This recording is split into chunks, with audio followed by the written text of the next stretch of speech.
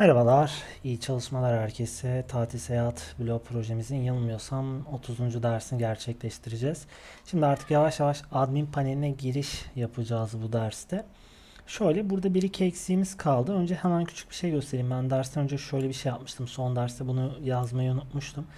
Ee, bu tatil seyahat blog yazısına şöyle bir marjin verdim. 80 piksel kadar soldan uzaklaşsın diye. O zaman şurayla tam ee, slider'la aynı hizaya gelmiş oldu. Şimdi bir tane basit bir sol menü kullanacağız. Bu sol menünün içerisinde bu kapanıyor mu? Kapanan bir sol menü istiyorsanız şunu da ben şunu kullanacağım muhtemelen. Şöyle bir sol menü kullanacağız. Burada işte bu sol menünün içeriği olacak. Ekle, sil, güncelle, listele falan şeklinde. Zaten bütün alanlarımızda değil. Yani hangi alanlarda? Bloklarda kullansak yeterli. Bloklar ve iletişimde kullansak yeterli olacak. Devamını siz getirirsiniz. Şimdi şöyle başlayalım o zaman yavaş yavaş. Bizim yeni bir tane neye ihtiyacımız var? Layout'a ihtiyacımız var. Şöyle yapacağım. Ben şu ana kadar kullandığım bütün parçaları, indeksleri, view'leri kapatıyorum. Öncelikle bir controller tanımlaması gerçekleştireceğim. Şöyle controller üzerine sağ tuşla tıkladım. Ekle dedim. Buraya yeni bir controller ekleyeceğim. Bu controller boş olacak. İsmi de admin olsun. Admin controller'ı olacak. Şimdi bu admin controller'ın ilk etapta biz bir layout'unu tanımlayalım. Şimdi burası şöyle geldi. Burada herhangi bir sorun yok. Ben share tarafına sağ tuşa tıkladım. Ekle dedim. Yeni bir view ekleyeceğim. Bu view kendisi bir parçalı kullanmayacak. Layout'u da kullanmayacak. Kendi başına bir e, layout olacak. Ondan dolayı alt tire admin layout diye isimlendiriyorum bunu. Ekle dedim. Ekle dedikten sonra admin layout sayfam geldi. Şimdi controller tarafında bir indeksimiz var. İndekste sağ tuşla tıkladım. Add view diyorum. Buraya bir view ekle. Bu bir layout kullanacak. Hangi layout kullansın bu? Shared içerisinde bulunan. Nerede shared? Views'in içinde, shared'ın içinde admin layout kullansın. Tamamdır. Ekle dedim. Ekle dediğim zaman bakın burası gelmiş oldu. Şimdi son bir şey. Şurada admin layout'ta şey yazsın. Burası admin yazsın. Kaydettim. Geldim indeks sayfamı bir çalıştıralım bakalım. Sorunsuz bir biçimde geliyor mu beraber görüntüleyelim. Artık bu güzel tasarımı yani benim YouTube'da e, paylaştığım eğitim videoları içerisindeki en güzel tasarımın bu olduğunu düşünüyorum. Şu anda kendi videolarım arasında. E, arayüzü en güçlü proje bu oldu. Artık bu tasarıma bir süre elveda diyeceğiz. Bir süre çünkü admin panelinden yöneteceğiz. Admin panelinde iyi bir dashboard hazırlayarak bu dashboard üzerinden de işlemler gerçekleştirilebilir ama o tarafa çok girmek istemedim artık. Çünkü kullanıcı paneli ağırlıklı bir e, web projesi olacak. The render body metot heh, render body hatası veriyor. Layout'ta sen diyor bunu nereye koyacaksın? Mesela şuraya hatta bir dakika şu divin olduğu yere ben şunu şöyle taşıyayım. Şuraya render body gelebilir. Render body parantezimi açıp kapattım kaydettim. Geldim sayfamı yeniledim.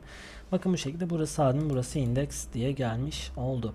Şunu bir görelim. Trade yourself diyor. Bunu bir deneyelim. Şimdi bu çok mu basit diye düşünüyorum. Aslında çok da ee, şey değil.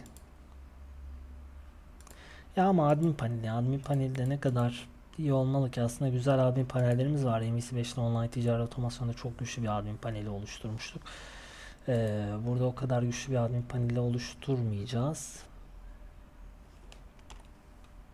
Neyse burada bu kadar ciddi bir admin paneli olmasın. Biraz daha küçük. Zaten dediğim gibi işin kullanıcı tarafı epey iyi.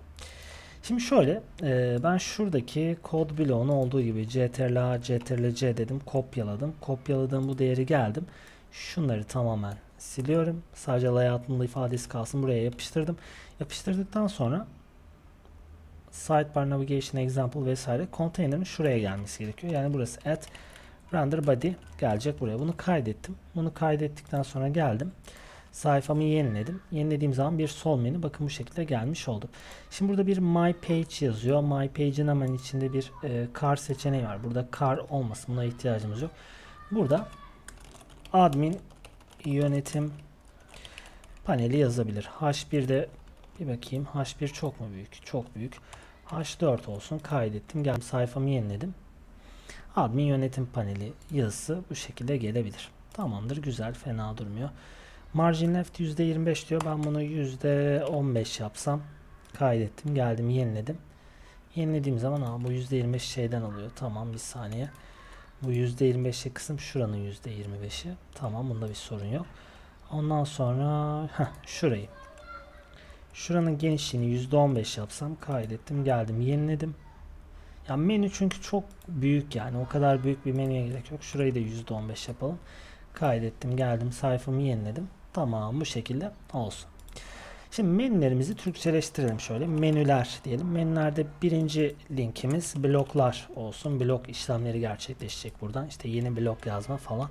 İkincisi yorumlar olsun. Yorumlar önemli. Üçüncüsü iletişim paneli olsun. İletişim. Ya ihtiyaca göre şöyle kontrol D yaptım. İsterseniz buraya hakkımızda kısmı içinde işlemlerinizi sağlayabilirsiniz. Ama bizim için bu dört temel başlık yeterli olacaktır. Tamam mı? Bir de şu menüleri doğru yazalım. Menüler. Tamam. Kaydettim. Geldim buraya. Bir saniye. Şöyle tarayıcıya geldim. Sayfamı yeniledim. Burada da Core serimizin son dersleri var. Bu şekilde menülerde gelmiş oldu. Bloklar, yorumlar, iletişim ve hakkımızda sayfası gelecek. Şimdi bloklar bizim ilk eklediğimiz e, liste olsun. Bunun için şöyle bir şey yapabiliriz. Mesela nereye gitsin biliyor musunuz? Slash e, admin controller içindeki slash bir dakika olmadı. Şöyle admin controller içindeki slash index action result'ına gelsin burası. Geldim. Sayfamı yeniledim. Yeniledikten sonra bloklara tıkladım. Bakın nereye geldi? Admin içindeki indekse gelmiş oldu. Diğerleri, diğerlerini de yazalım. Mesela ben şurayı kopyaladım, geldim. Yapıştırdım. Admin içinde yorumlara gelsin. Sonra aslında yorumları falan farklı şey yapabiliriz ya bir saniye.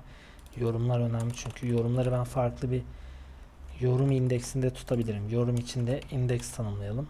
Sonra iletişim için admin içinde iletişime gelebilir. Ben bunu buradan çekebilirim. Bunun bir zararı yok. Burası da hakkımızdayı da ayrı bir kontrolörü de tutmaya gerek yok. Sadece yorumları ayrı bir kontrolörü de tutacağım. Çünkü orası biraz daha kendi başına bir bağımsız olacak.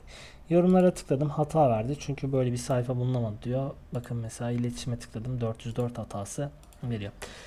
Böyle e, giriş yapmış olduk admin paneline. Bir sonraki derste bloklarımızın listesini artık table olarak çekeceğiz ve buradan işlemlerimizi sürdürüyor olacağız. Bir sonraki derste görüşmek dileğiyle.